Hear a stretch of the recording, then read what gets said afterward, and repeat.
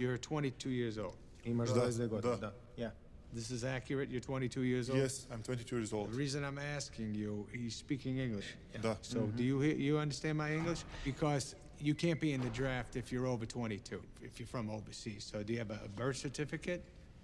It was big fire. Oh, okay. Who's this? It's my son. It's your son. Yes. How old is he? He's 10 years old.